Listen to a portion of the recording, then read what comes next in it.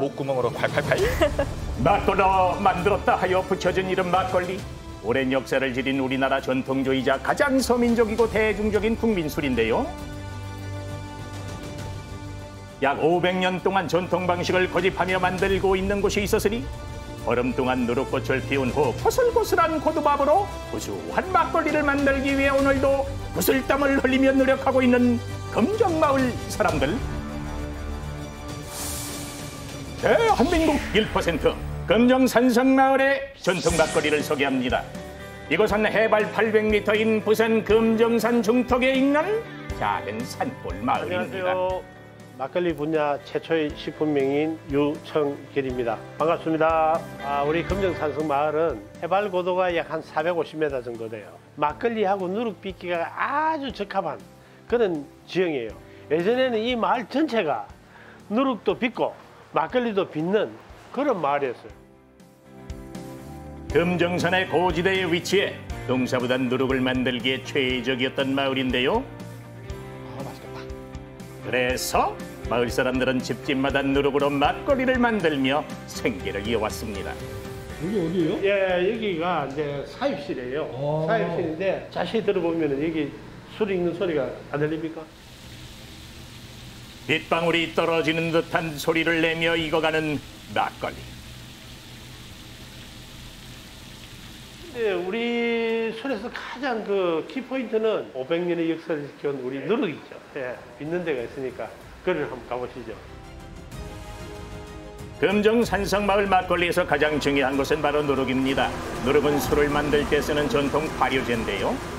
그런데 모두 한 방향으로 돌고 돌고 아이고 왜 자꾸 팽글팽글 돌아요. 벌써 취했어요? 나무도 잘 되지. 기계 올라가 계신 것 같아요. 예, 이제 몇십 년을 해나니 어지럽진 않아요. 좀 어지러운데요? 어지럽습니까? 와 진짜 어지러운데요? 누룩을 빚는 곳입니다. 예, 쪽타식이라고 그러죠. 발로 이제 이렇게 두드린다는 뜻인데 어, 기계로 하면 한 번에 이렇게 눌러 찍어 버리잖아요. 그러니까 발로 하게 되면 여러 수백 번을 발로 밟게 돼 있어요. 안에 있는 기포도 없애주면서 전분질이 더 많이 녹게끔 만들어가지고 술을 담았을 때 향이라든지 이런 게 강하게 나게 할 수 있는 어떤 그런 역할을 하는 거죠, 지금. 좋네요. 금정산성 누룩은 통밀을 굵게 갈아 틀에 넣지 않고 대보자기에 싸서 동그랗고 납작하게 발로 밟아주는데요.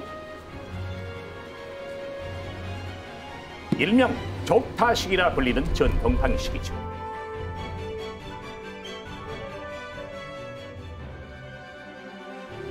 전통 족타식 누룩과 일반 누룩엔 어떤 차이가 테두리가 있을까요? 테두리 두껍고 그리고 이 중간이 굉장히 약해요.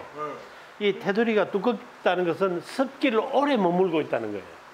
이 습기를 곰팡이균이 굉장히 좋아해요. 중간까지 곰팡이를 골고루 피게 하는 우리 조상들의 지혜가 이곳에 담겨 있는 것이죠. 아, 큰 우리 대한민국에서는 볼 수. 있는 곳이 여기밖에 없으니까 네, 그런 거죠. 족타 방식을 고집하는 이유는 곰팡이가 누룩에 골고루 생겨야 균일한 술맛을 내기 때문인데요.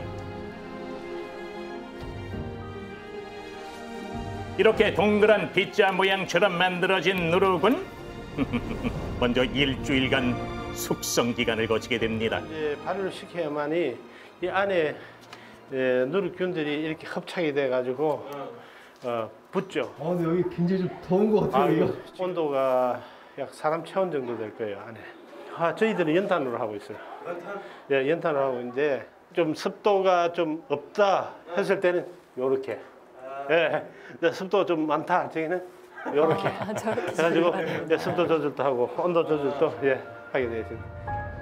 500년 역사를 자랑하는 금정산성 막걸리의 일등 공신인 누룩균. 보니까 여기 발에도 뭐가 이게 있어요 곰팡이균이에요. 그런 균들이 hợp착이 돼가지고 이제 다 하는 거죠. 아 그럼 저걸 닦아내면 큰일 나겠네 오래된 정도가 아니고 이거는 진짜 500년 된 그게 위 옛날부터 계속 내려온 균을 그대로 지금 담고 있는 거예요. 온도와 습도가 조절된 누룩방에서 일주일 동안 숙성을 거치면 꽃이 핀 누룩들을 만날 수 있습니다. 하루에 만들 수 있는 누룩의 개수는 약 250개 정도. 누룩 한 장으로는요 약 18리터의 막걸리를 만들 수자 있습니다. 여기 보면은 노랗고 하얗고 뭐 자세히 보면 까맣고 이런 균들이 붙어 있어요. 이게 바로 누룩꽃이라는 거예요. 누룩꽃. 네, 황국, 백국, 흑국. 그러니까 요거 총막 나고 있는 게 저희 누룩이에요. 예. 오랜 전통을 이어온 만큼 전통 누룩을 지키는 데에는 인내가 필수입니다. 하지만 한때 유일한 생계 수단인 일이 역사 속으로 사라질 뻔했어요. 상승에 사람이 많이 들어 일사지만 옛날에는 맷집 안 됐거든. 그래서 이거로 가지고 먹고 살았거든. 집집 마중 다 했어. 옛날에 살이 귀했잖아. 그러니까 네, 세무소 있지. 세무소에서 추라서 누르고 막, 막걸리 못 알았고 아 막걸리 못 하겠었어요. 못 알았고. 그리고 이거 다 댕기면 막 벌금 내고 이래. 1960년 주식이던 쌀 부족으로 술 제조가 금지됐었는데요. 어쩔 수 없이 양조장은 문을 닫았지만 누룩빚기를 그만둘 수 없었던 마을 사람들. 결국 몰래 만드는 위험까지 감수하며 명맥을 이어왔습니다. 일주일 정도 숙성한 누룩은 다시 햇볕에 3일 정도 건조를 시켜줍니다. 또 3일을. 동그란 모양으로 아, 힘들게 이제 만든 누룩을 망치로 깨버리는 장인. 고두밥을 하고 섞어가지고 술을 담기 위해서 이렇게 깨는 거예요. 네. 가장 중요한 누룩이 완성되면 본격적인 음, 막걸리 제조 작업에 돌입합니다. 누룩균이 쌀에 잘 침투할 수 있도록 고두밥은 꼭 불린 쌀로 만듭니다. 그래. 전에는 급하게 하지 말고 너무 많이 들지 말고 한번 장인의 쭉 분수가 쉴 새 없이 이어지는데요. 돌리잖아요. 우리 아들이에요. 예. 아, 고등학교 때부터 해야겠다라는 생각을 조금씩 가지고 있었어요. 그때는 술이라는 개념보다 그냥 아버지 일 따라서 해야겠다라는 생각을 했어요. 일본에서 이제 발효 전공을 해왔다 하지만은 아무래도 현실하고 좀 괴리가 있거든요. 예. 실습 겸이. 대를 이어 막걸리를 만들고 있는 장인에 이어 아들 역시 자연스레 가업을 잇는 중이죠. 아버님이랑 같이 일하는 거 힘들지 않으세요?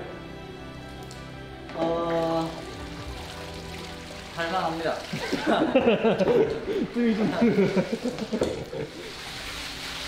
금정산성 막걸리의 유래는 정확치 않지만 조선시대 금정산성을 개축하면서 동원된 인부들이 새참으로 마셨던 술인데요.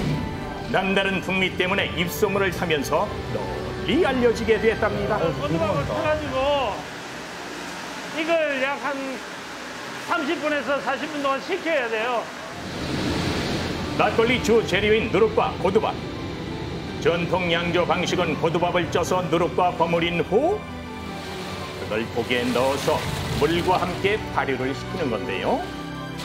누룩, 고두밥, 물의 적정 비율을 요렇게럼 삼박자를 이루게 해줘야 깊은 맛의 막걸리가 완성되죠. 거잖아요. 예. 이게 진짜 술이 돼요? 누룩 속에 있는 그 곰팡이균하고 이런 것들 살 속에 있는 전분 이런 게 잘 어우러져 가지고 당화작용을 이렇게 가지고 이제 알코올이 되는 거죠. 여기 이제 하루가 되면은 이런 형태가 돼요. 이제 누룩균이 하얗게 지금 붙었어요. 지금. 고두밥이 수분을 머금으면 누룩균은 막을 형성합니다. 이제 요게 이 소나기 내리듯이 팍하게 치죠. 2, 3일 정도 돼요. 예. 숙성 3일 차인 발효가 시작되면서 포글포글 끓기 시작하는데요. 이제 한 4일, 5일쯤 되면은 여기가 통을 만져보면 따뜻해요. 그만큼 이제 발효가 환하게 잘 된다는 거예요. 오, 저 보글보글보글. 시간이 지날수록 더 깊은 풍미를 낼 준비를 하는 숙성 과정. 와, 이제 한 5, 6일 되면은 이렇게 다시 식어요. 이 거품 자체도 딱 깔아내요. 이래 하면 이제 술이 완성이 되는 거죠.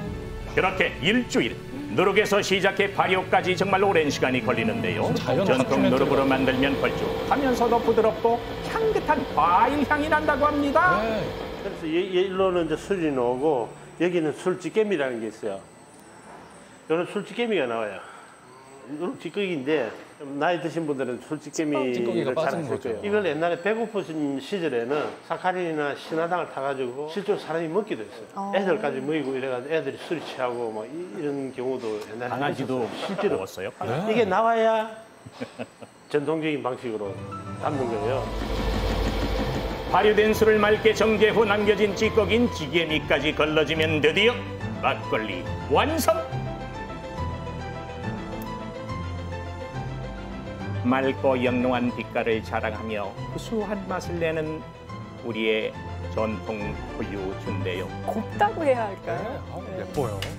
막걸리 하면 빼놓을 수 없는 단짝이 있죠. 아, 이 아침에 네. 하죠 이렇게 읽는 소리가 예. 막걸리 익어가는 소리가 비슷하네요. 막걸리와 파전. 그 찰떡궁합이 제일 괜찮은 치맥 말고 환상의 음식 궁합 자랑하는 막걸리와 파전. 이 시간을 기다렸습니다 지금.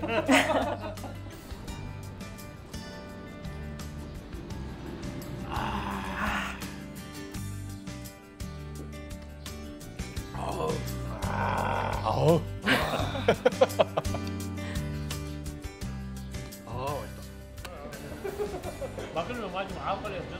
올림픽 전까지 가장 많은 사랑을 받았던 전통적 막걸리. 분들이 어려운 환경 속에서도 정말 이 옛날에 그 맥을 잇고 있거든요. 우리 국민 모두가 전통주를 아끼고 사랑하는 마음이 앞서면은 몇백 년이고 몇천 년이고 계속 이어지지 않을까 그런 생각이 듭니다. 우리 전통 방식으로 만든 구수한 막걸리가 오래도록 사랑받길 응원하겠습니다.